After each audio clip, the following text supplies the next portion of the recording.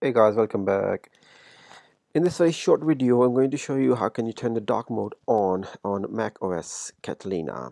That will involve MacBook Pro, MacBook Air, iMac, and uh, probably all other Mac devices running Mac uh, OS Catalina. Uh, dark mode is uh, is a nice feature introduced by Apple, and um, it's pretty good. What it does for the portable device, especially, is that it saves battery power, and it, it gives you longer battery life on the portable devices. Now, with with this with this screen, as you can see, the the LEDs, the LCDs, LEDs, the small LED uh, in LCDs are lit up. Now they're consuming battery. With dark mode, basically it turns most of them off, so you save a lot of battery power.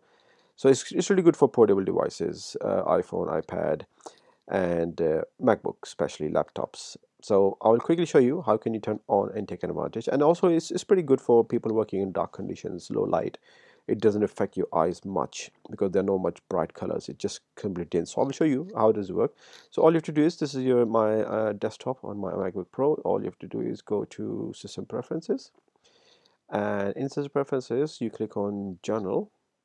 And over here in Appearance, you see it's got three options here. Light, which is this mode and dark which you are on you can see it's kind of a dark mode or auto now with auto it simply changes. When you are when the time goes after the the evening like six o'clock seven o'clock it automatically switches into dark mode which is pretty good. As you can see the light mode is I'm in the daytime at the moment so light mode is quite bright.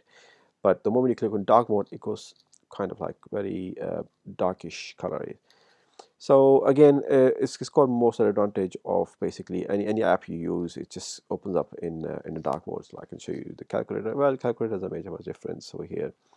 So if I say choose, uh, I don't know, if I go for news here, let's see, it should be opening in dark mode. So yeah, there you go. That is in the dark mode. So if I simply switch over apps and click on light mode, there you go. You can see whole app everything's gone light. So obviously with these ones the LEDs are lit and they, they're using a lot of a lot of battery power here.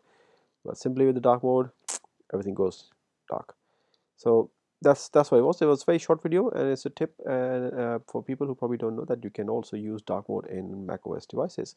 I hope you liked the video and if you have please share it with your friends and family so they can take advantage of that as well. Uh, please do not forget to subscribe to my channel and click on the like button if you have liked the video until then, I'll see you later on. Bye bye.